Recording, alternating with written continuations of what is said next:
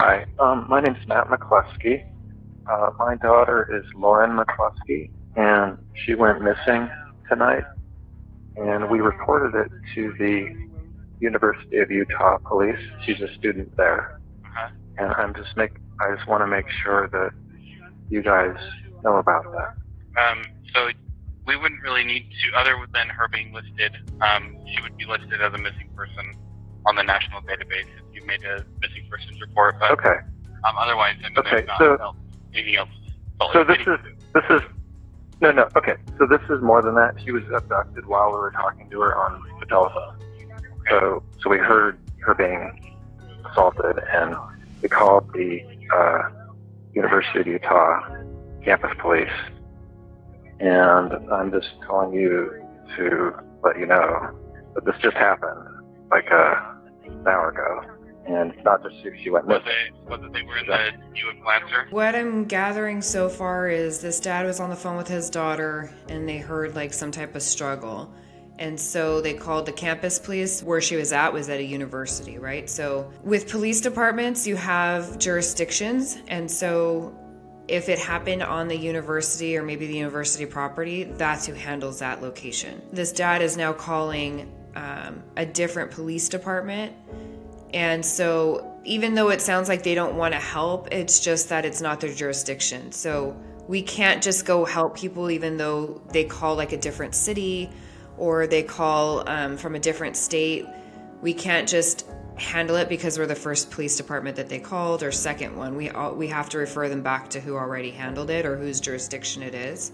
So that's what this dispatcher is trying to let this man know although he doesn't know where his daughter's taken possibly off campus so that's probably what his thinking is is i'm just going to alert everybody in the area that something ha- happened to his daughter and you can't blame him for that Could you please say that again?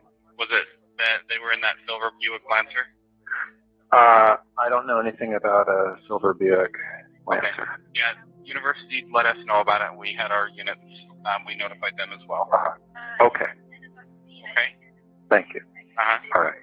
Hi, I've been blackmailed um, for for money with threats of sending out me. Okay. Do you live in Salt Lake or Sandy? Salt Lake City. Okay. Yes. Uh, well, it's it's building the Oh, so what's your mailing address? so it it's um the mailing address would be so far she seems pretty calm the daughter upset. From from just this call itself if it's just a like extortion type call there's not much to do immediately.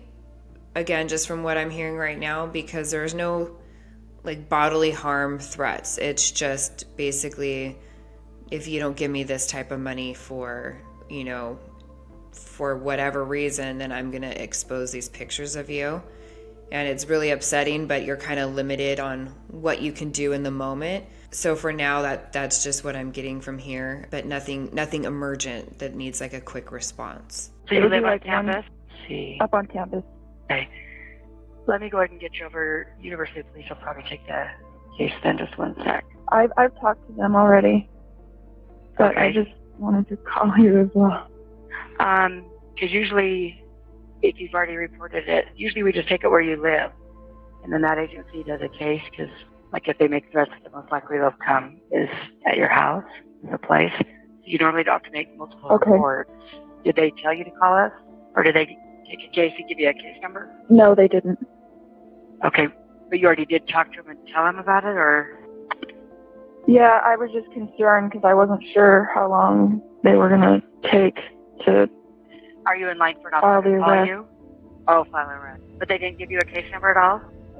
Oh, I think they did. Hold on. Um, Do you want to talk to them and see kind of more about what's going on with your case? um, I'm sorry. What was that? Do you want to talk to them to see what's going on with your case? Wait a minute. Just a second. I think this is. Yes, there's a case number. Okay, let me get you up to them so they can see what's going on with it. Just one moment. If she's calling 911, I don't know where she's calling from, but her phone is hitting what's called a cell tower and it goes to the nearest agency. So it's ringing over to, it sounds like Salt Lake Police Department. Um, so they're clarifying okay, this one's going a little bit more in depth with her than the other one with the dad. But this one's saying, okay, they gave you a case number. Okay, that's good. You don't need to make another report with us because they already took a report.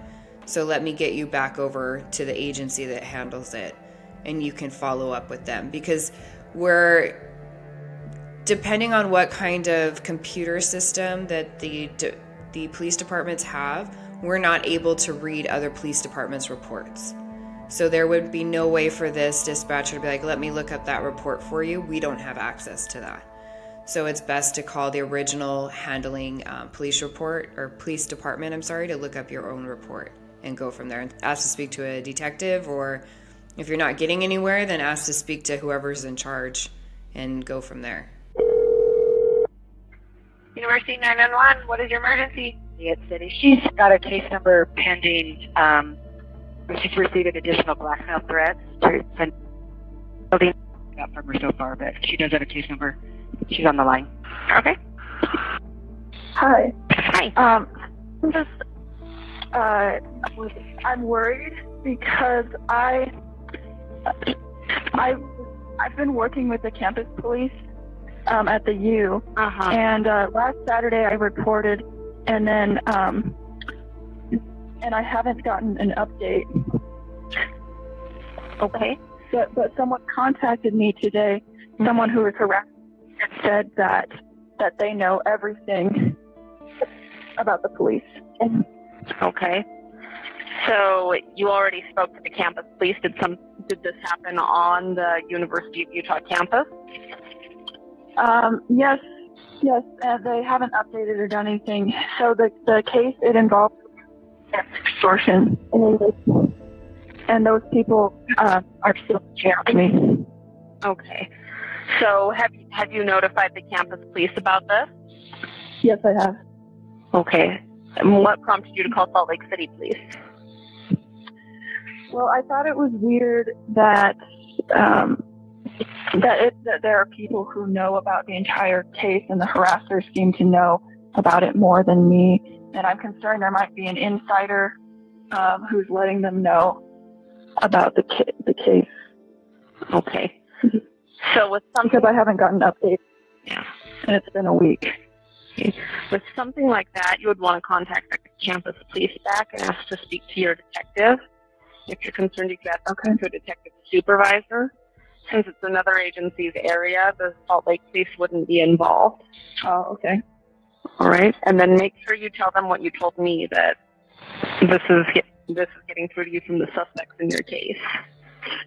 Okay, so, so the the detective you said is what to contact. Right. Call the dispatch back and then ask to speak to your detective.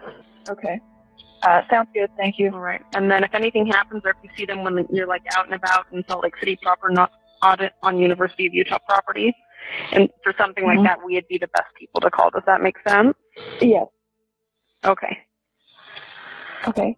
Thanks. All right. Thank you. So where I work, I don't have any universities, but we do have bordering um, cities. So sometimes the bordering city will call us so what happened was original 911 transferred to another 911 line.